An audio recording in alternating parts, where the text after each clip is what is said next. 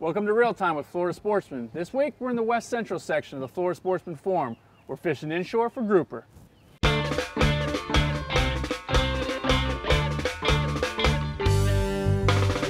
Our trip to St. Pete started with meeting this week's guest host, Stuart Davis, aka Psycho Snooker, on the west central section of the Florida Sportsman Forum at Munch's, a local breakfast place.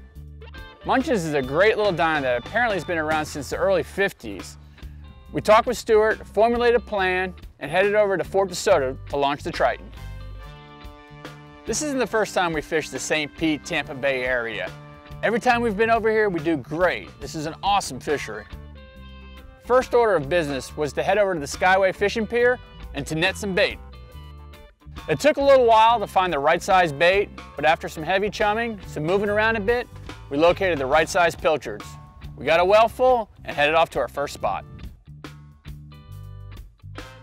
That's the size we're looking for right there. Look at that pilchard. That's a gumdrop. So like I said, we're in St. Pete Beach, fishing Tampa Bay, and Stuart's on this crazy inshore grouper bite. You know, this is something that I've never seen before, but it's real reminiscent of the fishery that I have back in Stuart for snook. All right, we're sitting here in the west central section of the Florida Sportsman Forum. Stuart Davis, aka Psycho Snooker, on the forum. You got something totally crazy for us. I've never even heard of this. Grouper fishing, residential docks. Yeah, we're gonna try some big pilchards. We're gonna throw them underneath the docks and these grouper will just come up and eat them. So it's something, after trying for snook many times, end up catching grouper and it seems to be what's here. Right, because this is the way we fish on the East Coast, on the docks, you know, for snook. I don't need to go 10, 20 miles offshore to get these grouper, and they're keeper grouper. Keeper grouper is what we've been catching. It's awesome. That's gotta be insane pulling them up underneath that dock. It is, it's a lot of fun. We'll see. Be a little bit of a challenge to get them out, but we should have a good day. Let's do it. So we show up to this first dock, and I'm not really certain what to expect. You know, but it's pretty basic stuff, just a J-hook, pilchard, flipping under heavy structure. 80 pound fluoro, we busted out the heavy stuff today. This is what you need. This is what we need. Torque sevens, 80 pound braid, drags locked all the way down. Yep, 100% down. fishing. We call this combat fishing. Right along the edge, Stuart? Yeah, don't Right on the edge of the dock? right at the edge of the dock. Stay out of the combat zone. You ready? Oh my God. Okay. I kid you not, the first cast, the first bait on the first dock gets hammered. Stuart is onto something. I was skeptical, my producer was skeptical. He proved us wrong.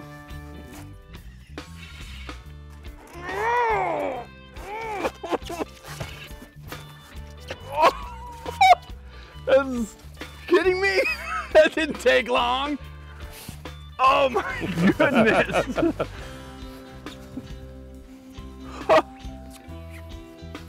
he's got a tag in him. Look at that. That's a nice fish right there. What a fishery. Man, he just hammered that thing. You did.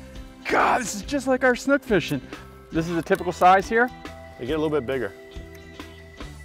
What a great fish. That didn't take long at all. No. God, I want to do that again. Early for a bath. oh man, I'm addicted.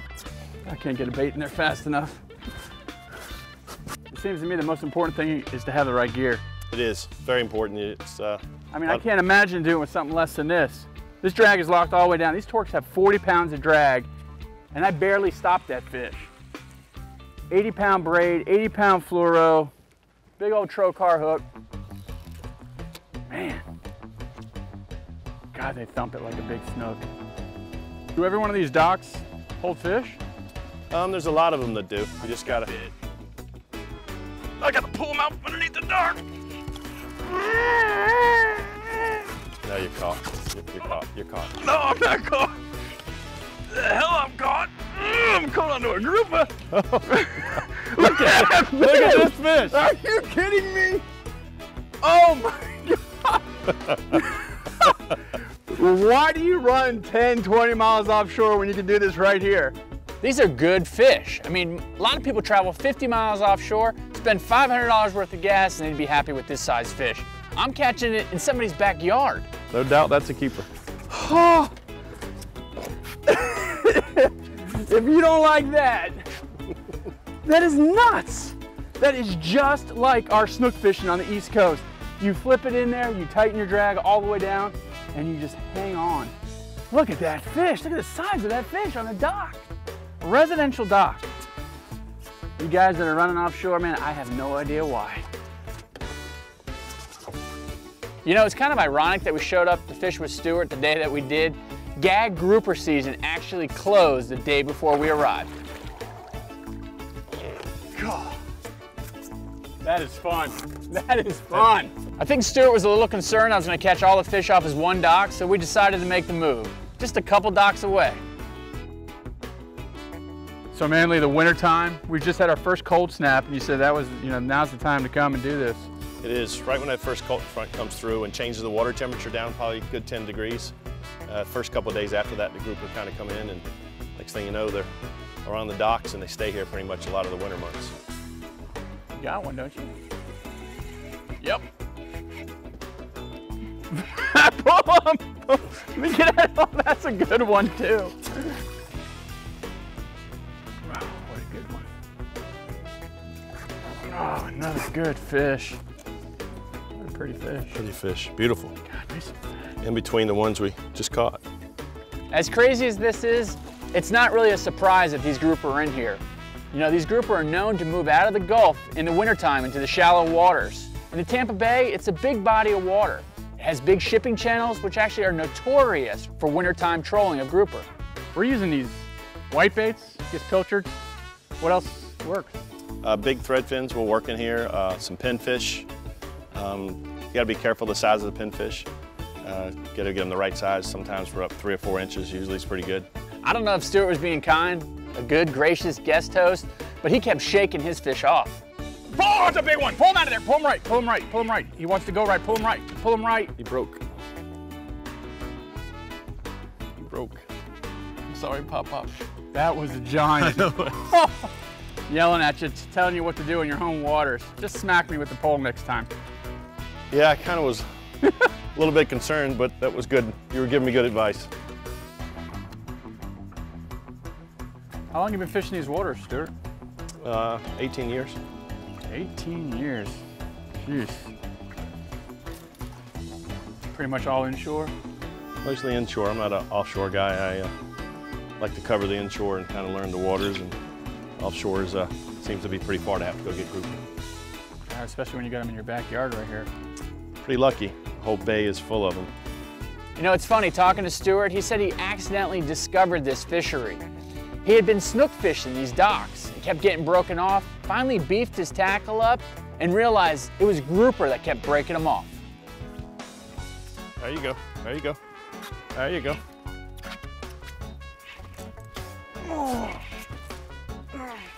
There you go. There you go. I got no Good time to breathe. Switched over and put a little jig head on. Flipped him in there. That is fun. Man, what a great grouper fishery. St. Pete Beach area, these docks. It is so much fun pulling these things out of here, man. Nothing like it. Takes a lot of work, but it's a lot of fun. Look at the reward. Perfect. There he went. Stuart likes to utilize the chumming. You know, we took the smaller pilchards and greenies that we had caught in early in the morning, and every dock he'd throw a handful out there, kind of excite the grouper.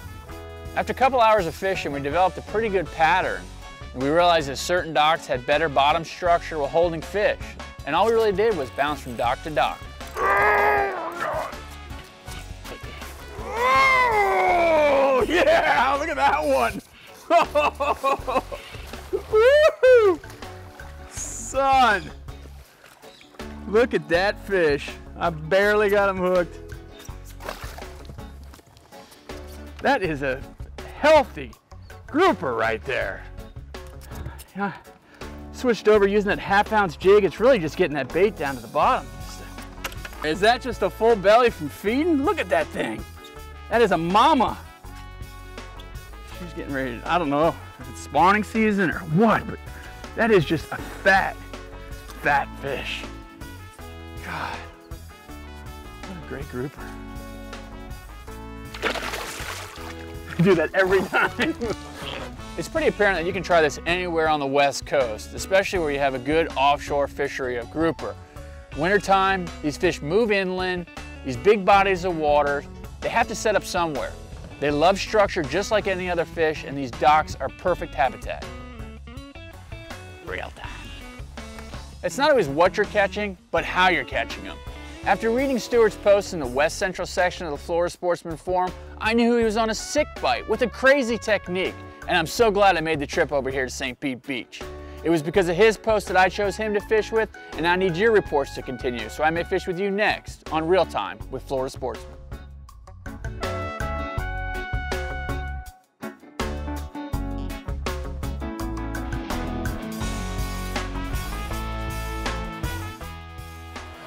Is it hard to set? It's got to set back up. I forget. I'm like, That's why they call it residential. It's not gonna be as peaceful as fishing on the flats, but it's a little more effective. you got it. Who's more nervous, the bait or you? I guess you got little ones too, huh? There you go. There you go. Oh. Uh,